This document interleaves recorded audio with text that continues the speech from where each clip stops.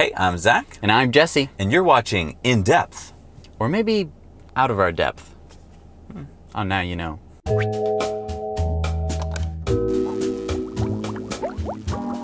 This week, a couple uh, studies have come out in the past few weeks that uh, seem to put a bad light on EVs. Uh, there's one which is a Swedish battery study, which is a metadata analysis study, right? So, what is a metadata analysis, first of all? So basically, you're taking a bunch of data and then you are taking that as data to run your study with. So you're not actually Oh, you- generating any data. Okay. You are simply taking data from other Other studies. other studies. So, your data depends on how good those other studies were. Right. So the more data you're sampling, the more chances that you're going to, you know, maybe grab some not great data. So we got a lot of people who uh, emailed us that there was like this news in Breitbart or news on you know one of these websites that was like EVs are dirty batteries. Um, so what what did the the Swedish study find? Well, so I think first we should cover what these stories were talking about. A lot of these news stories talked about how, oh, well, if EVs aren't good, then you should be driving your Ford F 150 pickup truck. Those liberal hippies don't know a damn thing about anything um, because of this one study that proves that they're wrong. Ha ha ha ha ha. So this Swedish battery study said that a hundred kilowatt hour battery, like you'd find in a Tesla, could take eight years of driving the Tesla before it would cancel out all the energy and CO2 it took to build that battery to begin with. And so it was like, haha, you're driving this dirty car. Right. Which I will give credit. The um, the writer of this study has basically said that a lot of these people are taking, or a lot of these news outlets are taking his study out of context to say that you know these large battery electric cars aren't as good for the environment, saying that you know internal combustion engine cars would be better. He's saying that it's better to have a smaller battery pack than it is to have a larger battery pack, but that obviously electric cars are cleaner than than gas cars because gas cars never uh, pay themselves off CO2 wise because you're constantly pumping more uh, gasoline into them for them to burn and turn into CO2. So the guy who did the study knows that electric cars are better. His whole argument was basically that the bigger the battery, the worse it is for the environment. Right. I wrote to him, um, and he wrote back and responded with a paper they had to come out with to explain their findings because so many people were misquoting it and making bad assumptions off of it. So, first of all, one of their assumptions they had to make because the data they studied used these assumptions was that 50 to 70 percent of the electricity used to make the battery came from fossil fuels. That was the assumption they had to make based on the, the studies they studied. Right.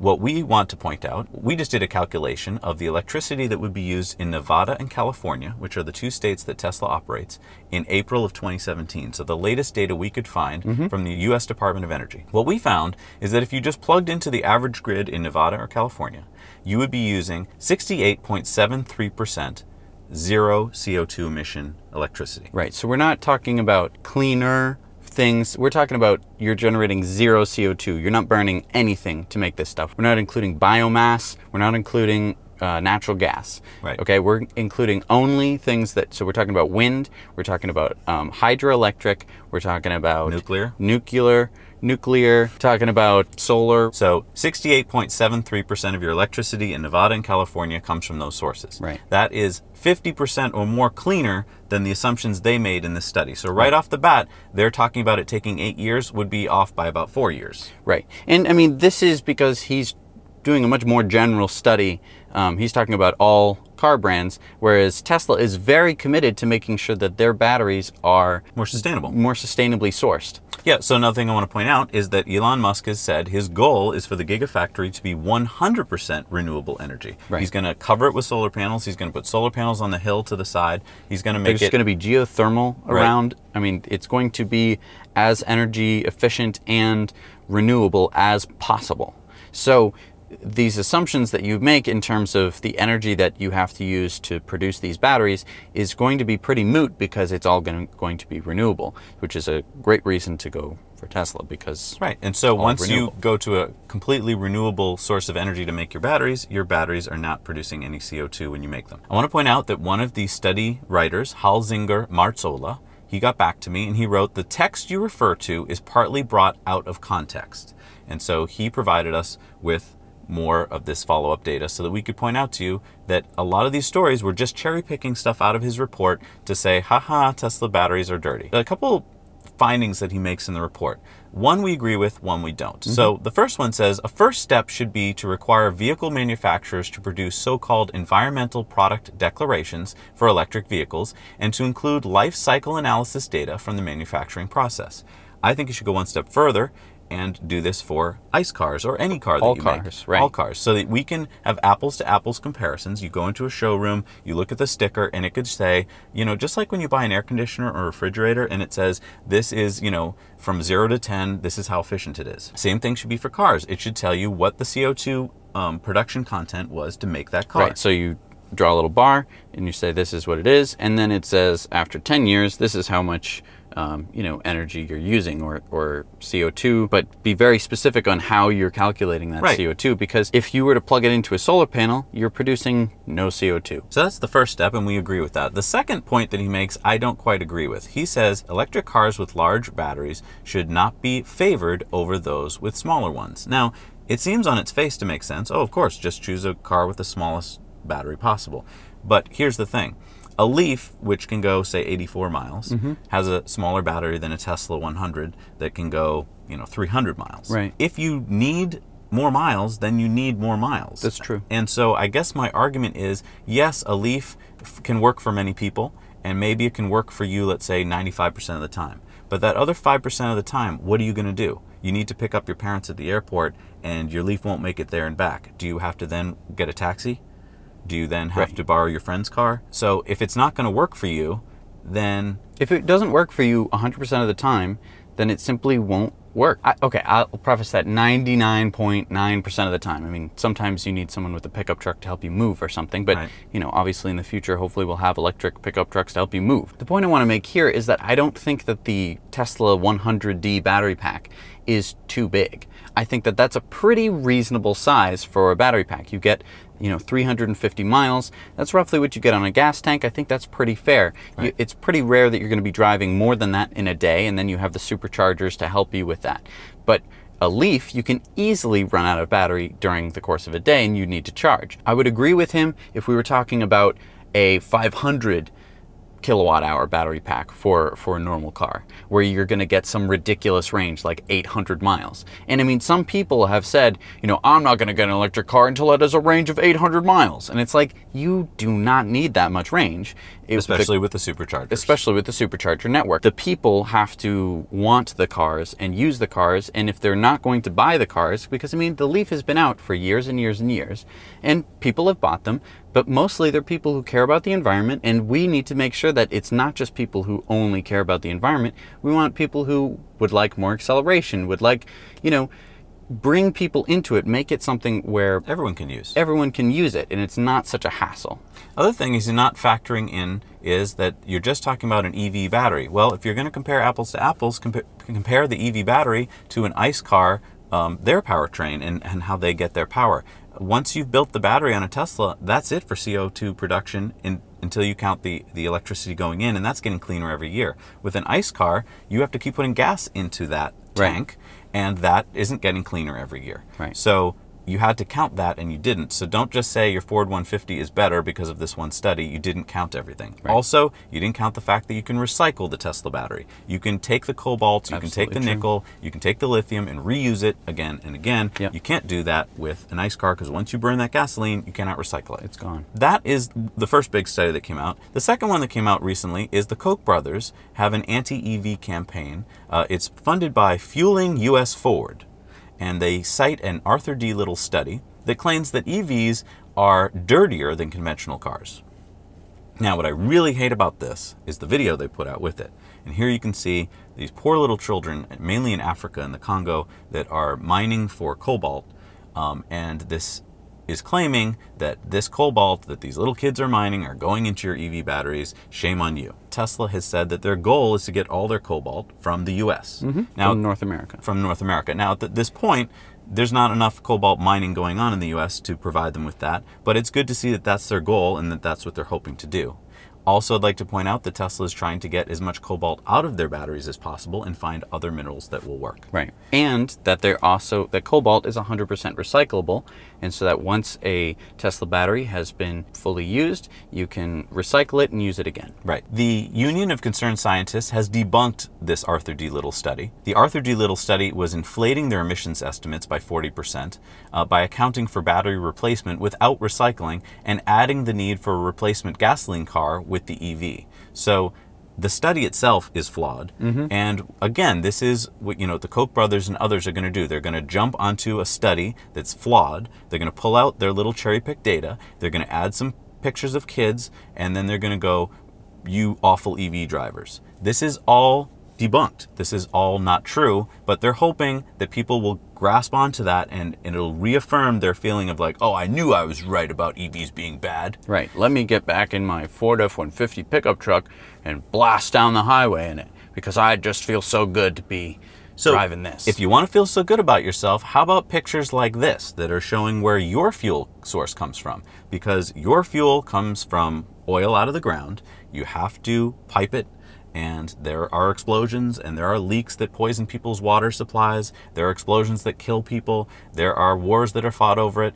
And all of that has to be factored in if you're going to factor in your ICE car. So again, don't just cherry pick your data, compare apples to apples. If you're going to cherry pick data from that Arthur D. Little study, then you should also count other studies that show what's going wrong with ICE cars. So, for instance, here's a study from Swiss Research Institute, EMPA, uh, which counts the soot from direct injection gas engines. which They are normal. normal Engines. engines. Um, but basically, this is the new way that gas engines work, right? We in, instead of a carburetor, we now inject gasoline because we can control it, and we can reduce CO2 emissions from a car and increase fuel economy. But what we don't seem to count until this study has come out is that there's other things that come out of the tailpipe besides CO2. Right. And those things include soot or fine particles that get into your body, and then once they're in your body, they never leave your body. So, what they did in this study, they took seven gas vehicles that were equipped with direct fuel injection systems, and they found that they emit from 10 to 100 times more particulates, those are those little particles,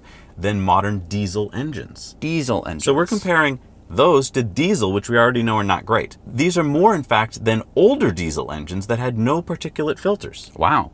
So here's a quote from one of the study writers. Uh, Once inhaled, these particulates remain in the body forever. That is from Norbert Heeb, who's one of the project leaders. Evidence shows that they can penetrate the membrane of your air sacs in your lungs and get into the bloodstream, and it gets worse. Liquid or solid chemical toxins from the combustion process accumulate on the surface of the particulates, which can then smuggle these substances into the bloodstream like a Trojan horse. Ugh. And that's not just diesel engine cars. That's not just We're talking about gas engine cars. all gas engine cars. Right, they all produce particulates, and we seem to think, oh, it came out the tailpipe and now they're in the atmosphere, but I can't see them, so great. Well, it's not great. You're breathing them. Those nasty combustion products include benzoapyrene, which is a known carcinogenic, and it's found in cigarette smoke. Wow. The World Health Organization considers even a tiny dose of benzoapyrene harmful. Levels in vehicle exhaust were found to be as much as 1,700 times above the safe limit established in the EU. So that's what's going on right now with gas cars. Right. And we, why isn't uh, why aren't the Koch brothers citing these studies? Because they produce oil and they produce gas, and they don't Right. want to tell you about that. And they're constantly, constantly going to be coming out with, with studies that are going to be damning EVs, that are going to be saying, oh, see, EVs are bad. I told you so the whole time. We knew it. They're not going to be coming out with studies like these. And the reason that you're going to hear the anti EV studies more than you're going to hear the anti gas studies is because who has more money? right. The people who are selling the oil. Right. Yeah, so let's talk about another study that came out in The Guardian. Professor Sir David King, who's the chief scientific advisor for the English government, he warns that levels of air pollution are often far higher inside of cars than outside of them. And that's really interesting. So basically, if you're a bicyclist, it's safer, the air is safer for you to breathe than it is if you are a child in the back seat of a car. Why is that? Well, I think it has to do with how cars are designed. You have a tailpipe in the back. Okay. Because you want to get rid of that stuff. That stuff's gross. Right. You don't want to put it in front of your No. car. No, no, no. No. You're going to put it behind your car. Right. And, And then gone from that. Right. And then you want to suck in air for you to breathe from the front of the oh, car. Oh, that's all clean. Perfect. Perfect. Except if you are behind a similarly made car. with the exhaust in the back because then Well, that never happens though. because then the exhaust from that car the- is going straight into your but car. that never happens in car commercials. All I see are cars driving on clear, open roads. Right. But most of the time, you're going to be stuck in traffic behind a car with a tailpipe, which is basically right next to your So you're sucking intake. in all that air, and then it recirculates it over and over and over again in the cabin. Yes. Gotcha. Or how about this study? Mm-hmm. The IMF, which is the International Monetary Fund, their study of energy subsidies found that in 2015, the total global subsidies for energy was 5.3 trillion dollars. Wow. Just to put that in perspective, that's 6.5% of the total amount of value of the goods and services produced in the entire world.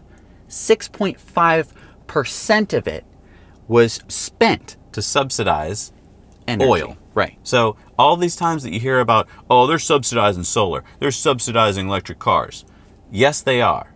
There are incentives for those things, and those do come from the government. But most of it goes to oil and gas and coal. And so we don't hear about that, but that's just the facts, people. And so if you're going to cite these little cherry-picked pieces of studies that you pull out of the of the internet, please, please also include the other facts which don't help your case. That's our little rant here this week. We get these studies that are sent to us every week, like, hey, what do you guys think of this? Yes, you're going to keep hearing about those um, because they're going to continually look for anything that they can do to claw their way back from fall. The, the technology is falling. This is just like what horse cart manufacturers were probably doing back in the 1900s. Like, oh no, we're losing market share to those new gas powered vehicles. That's just what happens when technology comes along. This technology is better than that technology. It's cleaner than their technology. Right. And in many ways, it's better in terms of Yeah. performance and safety. So I think it's very important for whenever you hear one of these studies, it's very easy to immediately sort of be like, oh no, I knew it. I knew I was wrong. And I think you just you can't feel that way. You have to take this every study that you hear, whether it's positive or negative, with a grain of salt. You need to look at the study. You need to see. You need Read- to use your brain. Yes, read you need the to study. look at it and say, is this right? Are they making the proper assumptions? Who's paying for the study? Who's paying for the study? Where did the data come from? Right. Because a Do lot a of times research. they'll use old data and they'll mix old data with some new thing to try and put together some new little fact that's that's damning to the you know to the electric cars. Right. If you take energy data, like power generation data from 10 years ago, it's completely different. The grid is completely different. It's getting cleaner every month. Right. We keep adding more wind, we keep phasing out more coal. Um, in the meantime, there seems to be a huge bubble of natural gas, but I think that will that'll pass like all gas. um, and soon we'll move to cleaner and more renewable sources of energy. So we hope that this has been a, a useful, helpful, in depth for you. Thank you so much for watching. Uh, hope you tune in tomorrow for Tesla Time News. There's lots of exciting news. Please consider subscribing. Uh, please consider liking, and please consider supporting us on Patreon. It really helps allow us to spend the time that we need to to bring you the up-to-date latest news, debunk all of the you know oil BS, and thank you again just so much for watching. Yeah, and thank you, and please share these videos if you can on your social media. This is a great way to let other people know in your group that this is what's actually happening out there, not just the the, the media that tells people things that aren't really true. All right. Thank you so much for watching. Now you know.